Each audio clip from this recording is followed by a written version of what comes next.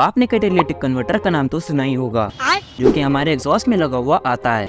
अच्छा। बट वो हमारी बाइक या कार में क्या काम करता है, चलो मैं बताता हूँ। बट उससे पहले यार सब्सक्राइब कर दो ऐसे इन्फॉर्मेटिव वीडियोस देखने के लिए। तो सबसे पहली चीज़ तो ये जान लो कि ये कैटेलिटिक कन्वर्टर हर B S six emission norms को फॉलो करने वाली बाइक में मैंडेटरी है। एंड इसका मेन काम होता है जितने भी harmful gases like carbon dioxide carbon monoxide और भी बहुत से गैसेज जो हमारी बाइक से निकलते हैं, उसको ये फ़िल्टर करता है। एंड उस चीज़ में ये यूज़ करता है platinum palladium and rhodium and दस ग्राम पेलेडियम का प्राइस है सिर्फ़ छियालीस हज़ार रूपए। एंड इसी चीज़ की वजह से इसकी चोरियाँ भी बहुत होती हैं।